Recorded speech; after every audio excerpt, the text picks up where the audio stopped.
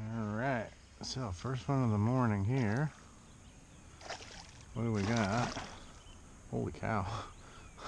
oh man, we've got a freaking giant crappie. Holy cow, look at the size. Of, I don't catch many of these, so I'm just gonna lip them just so I can get some pictures and stuff. I don't catch many of these. I caught one the other day, and I had some folks ask me about it and stuff. So, um, so there we go. So that's, I think it's a giant crab. I don't know. I'll measure them. I mean, big as my hand and then some. All right, so I'm just trying to get him to put his tail down. I mean, this is approximate, obviously. 15 inches? I don't know. Is that big? I don't catch many crappies. You guys tell me. 1.8 pounds. 15 inches. I mean, that seems pretty big to me. That's a, a decent sized bass. So, there you go. He attacked three and a half inch paddle tail on a 4-0 hook. That's what he hit. There we go. Cool. It's a good way to start the morning. Oh, forgot to tell you, I'm at Crawford Pond. Um, local destination here. It's a place you have to go. You have to pay to park get onto the lake at a campground. So uh, I came here once earlier this year when it's still cold and the water was still cold. So thought I'd try it now and the water's warmed up some. All right, got one outside alongside the dock over there. He's definitely a puller.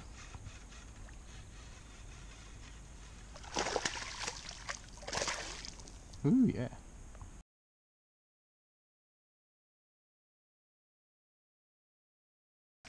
Splasher and a jumper. Man, they got good energy here. They don't give up. okay, okay. Let me get you out of here. So for those watching this, I have been to Crawford Pond once before, and we'll see if we can reproduce what happened last time. There's some monsters in here. All right, so I've just thrown it on a scale just to get a frame of reference for what we do today. 2.5, 4. So the last time I was here, there was a lot of big bass here. Uh, I caught a multiple four pounders and a couple five plus pounders. So this one's two and a half. Let him go back under his dock. See if we can replicate what we did last time. It was early in the season though. Um, oh yeah, we got our first big boy on here.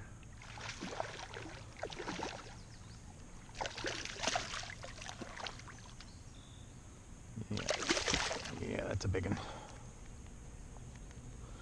That's one of the big ones from over here. Nope, nope, nope, nope.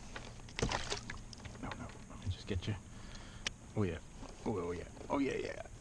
Oh yeah, yeah. Oh yeah. Oh yeah. I'll get you. I'll get you out of here.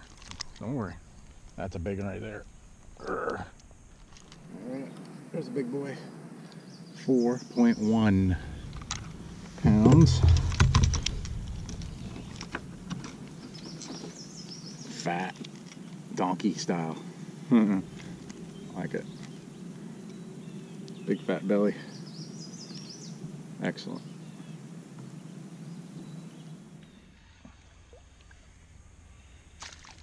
Alright. Mr. Pickerel made an appearance. Nice size pickerel.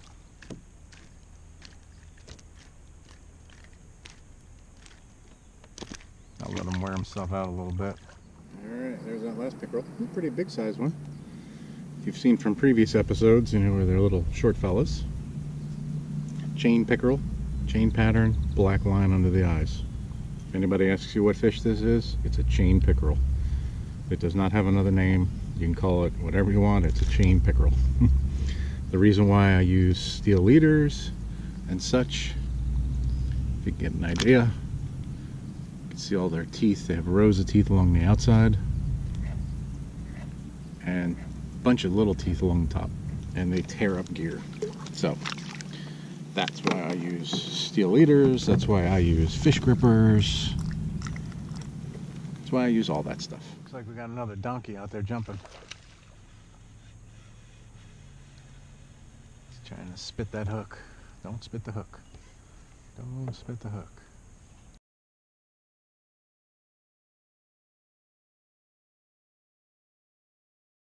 Oh yeah. I see you. Ooh.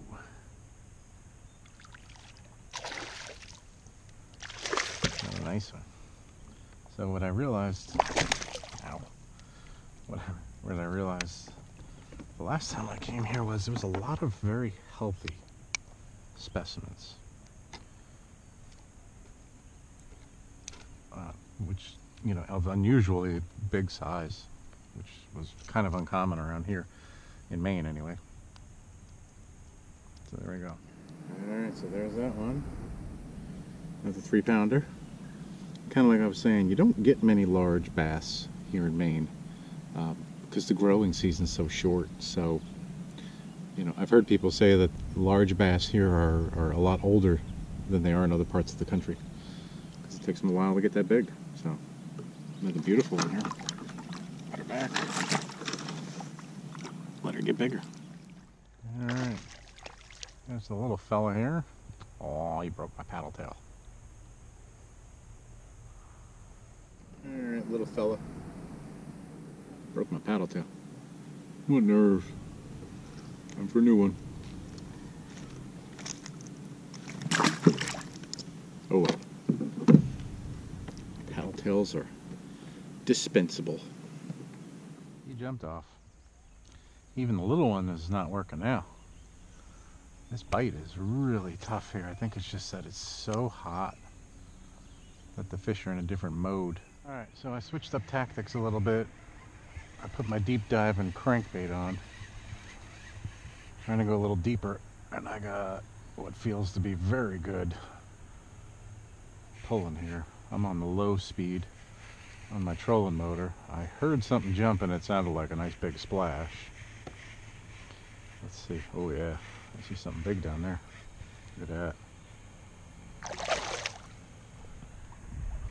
The other rod was moving for a minute and then it stopped. So I don't know if it's uh, something on. I usually just throw both of them out there as a increase my odds kind of thing. Oh yeah, that's a nice one right there. I'm thinking the other rod has uh, has some seaweed on it or something. Oh, good. Look at that. Spit it out just in time. Whew, man. That's a chunk right there. We're gonna weight up that one.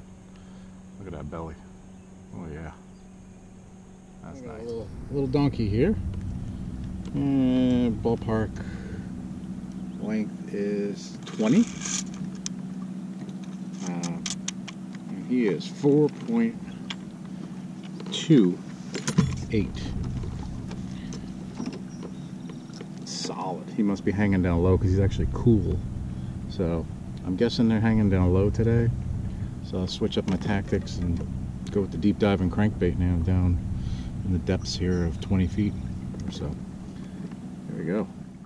Alright, got a little fella on here. He just jumped here right before the camera turned on.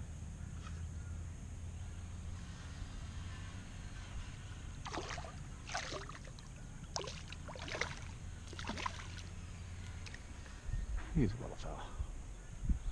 Little smallmouth. There we go. Little smallmouth. Alright, got our first little smallmouth of the day. Little fella. Maybe eight ounces or so. He's not even a pounder, so. We'll get him out. Make him happy. Alright, looks like we got a largemouth here.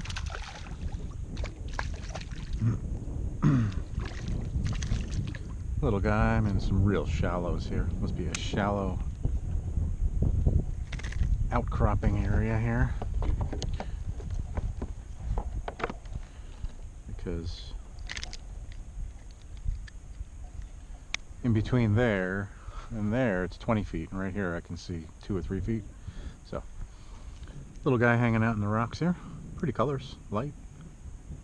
All right, there's that little fella. Maybe a pounder. Out in a little shallow outcropping here.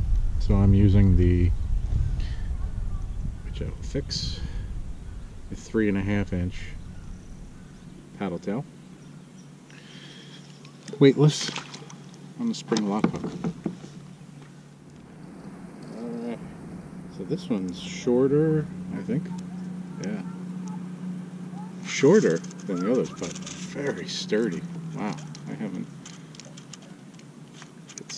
Like a little tank. 4.2 pounds. So that's cool. Another four pounder. But if look at the girth on this one. Definitely shorter. It was 19 inches. I think the other one was 20. Almost 19, I guess. Maybe a little less. But 4.2. Nice.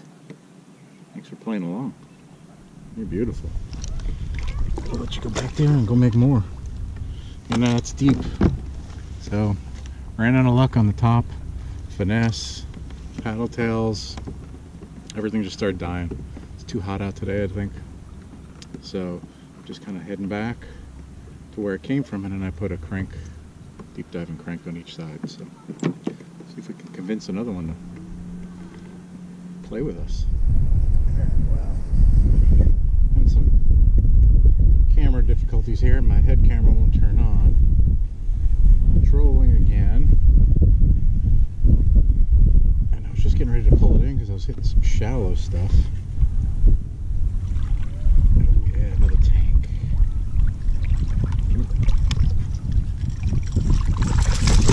Oh, I just spit it off. uh, there you go. I only had him on like one treble hook, so. Story of my day. That was another four pounder, probably.